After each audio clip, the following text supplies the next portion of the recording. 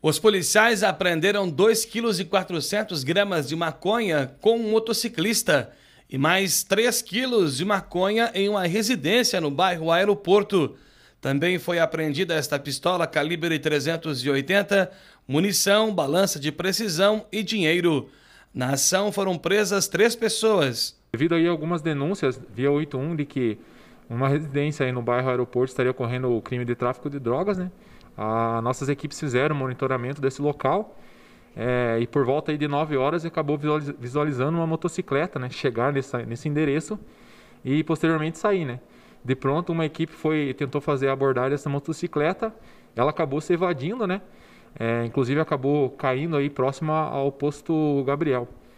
É, também com esse cidadão na motocicleta foi encontrado cerca de 2,4 kg de, de maconha.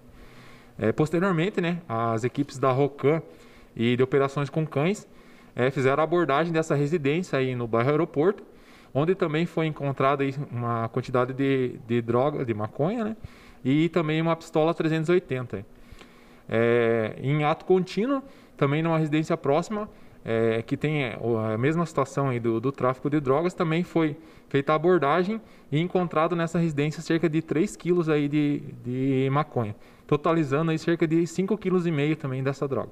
Os policiais tiveram dificuldades por conta da resistência dos detidos. O cidadão na motocicleta, né, que acabou se evadindo aí desde o bairro aeroporto até as proximidades ali do centro da Baixada, né, e também o cidadão da, da residência onde foi encontrada aí essa, essa pistola 380 aí, que acabou reagindo aí a, contra a abordagem das, das equipes. Aí.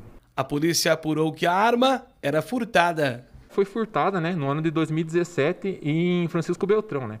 Mas aí nós estamos apurando a questão de, de quem que é o proprietário de, de, dessa, dessa pistola.